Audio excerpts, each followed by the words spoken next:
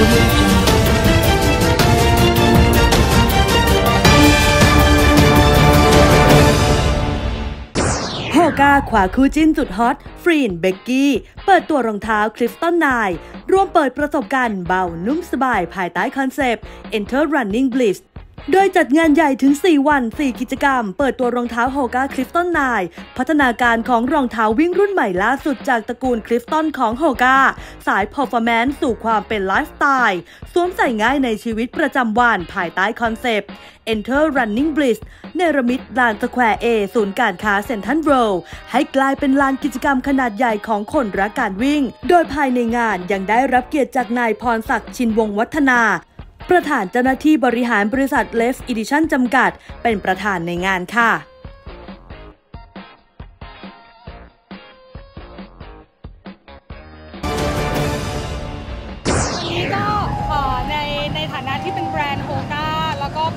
เป็น marketing manager นะคะ ก็รู้สึกเป็นเกียรติอย่างยิ่งเลยที่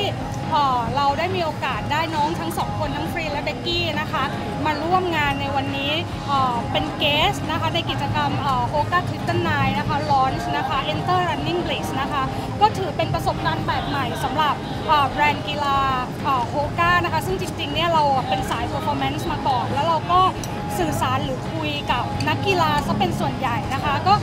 เป็นโอกาสที่ดีที่ทางผู้ใหญ่ของแบรนด์เอง หรือแม้กระทั่งทางทีม global เมืองนอกเองนะคะ เล็งเห็น soft power ของเมืองไทยนะคะ แล้วก็เชื่อมั่นในตัวฟรีและเบกกี้นะคะทำให้เกิดงานนี้ขึ้นมาค่ะค่ะ อันดับแรกเลยนะคะ เราเห็นทัศนคติของน้องๆทั้งสองคนเวลาที่เขาไปสัมภาษณ์ไปออกงานอะไรอย่างเงี้ยค่ะความเป็นธรรมชาติ ซึ่งมันตรงกับแบรนด์ มากๆ เนื่องจากว่าแบรนด์โฮก้าค่ะเขาจะมีความเป็นเอ่อ positive thinking นะคะ มีความแบบเป็นแบบเอ่อแบบ good vibes มี attitude ที่ดี ซึ่งเรารู้สึกว่ามันตรงกับคาแรคเตอร์ของน้องมาก ประกอบกับน้องเขาเนี่ยได้อ่อเล่นทฤษฎีสีชมพู แล้วมันตรงกับ brand concept ของ HOKA Clifton 9 ซึ่งเป็นโทนนะคะเป็น gradient สีชมพูส้มอยู่พอดีเลย เราก็รู้สึกว่าเอ้ยคาแรคเตอร์เนี่ยมันเหมาะกับเขาโดยเฉพาะอย่างยิ่งอย่างที่บอกไปแล้วบนเวทีว่าคอนเซปต์ Enter Running Bliss เนี่ยมันเหมือนกับว่าเราต้องการจะ support เส้นทางของอใครก็แล้วแต่ที่กำลังจะออกไปสู่โลกภายนอกอะค่ะได้รู้สึกเหมือนแบบไม่ต้องกังวลว่า ไม่ว่าทางข้างหน้าของคุณจะไปเจออะไร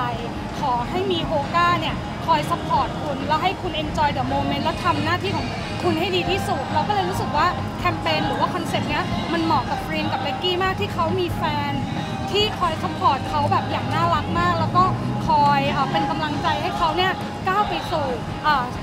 ในโอกาสใหม่ ๆ ที่เขากำลังจะเจออะไรอย่างเงี้ยค่ะ ก็ตรงกับคอนเซ็ปต์ของแบรนด์พอดี โอ้วันนี้ดีใจมากเลยค่ะที่ได้มาทำอะไรที่เราไม่เคยทำแล้วก็จริงๆมันคือการก้าวข้ามความกลัวของหนูด้วยแหละ เพราะว่าจริงๆอะหนูไม่ค่อยที่จะจอยกับการแบบออกกำลังกายเท่าไหร่ เพราะว่ารู้สึกว่าแบบเป็นคนที่อะไรนิดหน่อยก็จะออดๆแอดๆแล้วอะค่ะ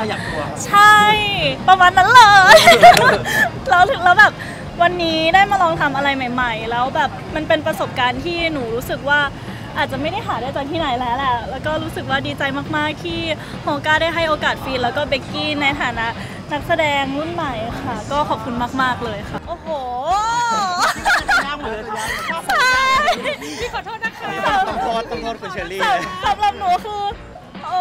ซอยซอยเท้ายังไงนะคะหรือจะต้องกระโดดยังไงนะคะยังไงนะคะซอยเท้ายังไงใช่หนูก็แบบโอเคได้มาลุย เพราะว่านี่คือประสบการณ์ที่หนูจะต้อง ได้เจอแล้วก็ประสบการณ์ใหม่ที่หนูพร้อมที่จะรับทุกอย่างเลยเนี่ยแหค่ะละค่ะเป็นเพราะว่าฟรีนกับเบกกี้เขาเป็นแบบนี้แหละ เรามาเลเลยยรู้สึกว่าใช่ไหม เอ้ยมันรู้สึกว่าเฮ้ยเนี่ยแบบมันเป็น energy ของแบรนด์ HOKA จริง ๆ มันเหมือนแบบว่า เอ้ย whatever อะไม่ว่าอะไรก็มาเขาก็ยิ้มสู้นะทั้งที่วันนี้ทั้งสองคนเขาไม่สบาย แต่เขารู้เขาก็แบบมาค่ะ HOKA เราพร้อมเรามาอะไรเงี้ยเราก็รู้สึกขอบคุณเขามากแล้วก็ขอบคุณแฟนๆทุกคนที่มา support น้องด้วยค่ะได้ครับจริง ๆ เมื่อกี้ก็ทั้งน้องฟรีนทั้งน้องเบกกี้ก็บอกกันไปเกือบจะหมดแล้วนะตอนที่วิ่งกัน 2 รอบ ก็อีกครั้งหนึ่งแล้วกันก็หลักๆกันนะครับ ก็คือตัว HOKA เนี่ยรูปลักษณ์อาจจะไม่เหมือนรองเท้าวิ่งทั่วไปด้วยความที่ว่ามันดูใหญ่ มันดูหนา แต่ว่าจริง ๆ แล้วอะมันไม่ได้หนักอย่างที่รูปร่างของมัน เบามาก บ่งบอกนะครับก็คือเบามากอย่างที่น้องฟรีนน้องเบกกี้บอกไปก็ขอฝากโคก้าไว้ด้วยแล้วกันนะครับผม ค่ะ ก็ กิจกรรมของเรานะคะ เราก็จะมีจริงๆเนี่ยเรามีเป็นมีเดียร้อนช์เนอะพร้อมกันทั่วโลกไปเมื่อวานนี้นะคะก็คือวันที่ 16 นะคะ แล้วก็กิจกรรมของเราเนี่ยจะมีจนถึงวันอาทิตย์เลยนะคะที่ 19 โดยที่วันพรุ่งนี้เนี่ยเราก็จะมีกิจกรรมตลอดทั้งวันเลย แล้วก็เรามีวิ่ง City Night Run กันด้วยนะคะ 9 กิโล ก็เริ่มจากที่เซ็นทรัลเวิลด์นะคะแล้วไปวิ่งที่ผ่านสยามสเคปนะคะรอบๆแล้วไป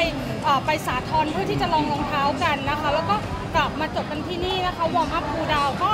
สายวิ่ง หรือคนที่อยากจะออกมาวิ่งแต่ไม่มีเพื่อน ก็มาเป็นจอยๆ กับคอมมูนิตี้ของโ o ก้ารันคลับเราได้นะคะ ที่โ o ก้า running หับสเปซตรงนี้นะคะ จนถึงวันอาทิตย์ที่ 19 ค่ะอยากให้ทุกคนลองค่ะลองลองประสบการณ์ใหม่ๆ ในชีวิต แล้วก็อยากให้ทุกคนลองเปิดเปิดหัวใจแล้วกันในการที่จะทำอะไรใหม่ ๆ แล้วก็ในการที่จะลอง อะไรใหม่ ๆ ในชีวิตหนูคิดว่ามันน่าจะเป็นประสบการณ์ที่ดี แล้วก็ทำให้เรากล้าที่จะออกไปยืนทำอะไรใหม่ ๆ แล้วก็มีประสบการณ์ใหม่ ๆ เข้ามาในชีวิตขอบคุณนะคะขอบคุณ